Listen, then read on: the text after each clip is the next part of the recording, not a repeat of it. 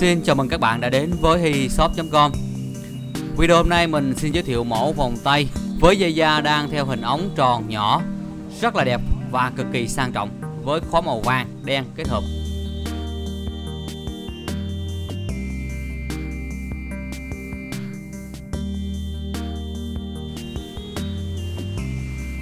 Chúng ta có thể nhìn thấy dây da màu đen được đang xen kẽ với các sợi dây thép nhỏ màu trắng.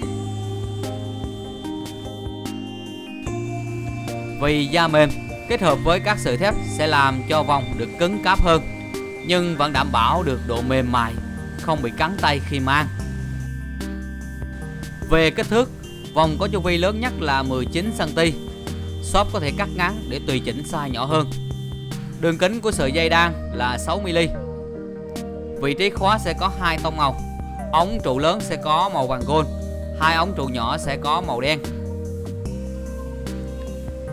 Vị trí khóa sử dụng lực hút 500 Do đó việc tháo mở khá dễ dàng, nhanh chóng và cực kỳ tiện lợi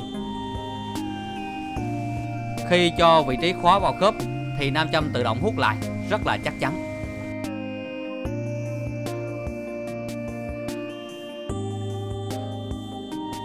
Để xem thêm chi tiết giá bán, các bạn vui lòng xem tại link bên dưới. Rất cảm ơn các bạn đã xem video. Xin chào và hẹn gặp lại vào sản phẩm tiếp theo.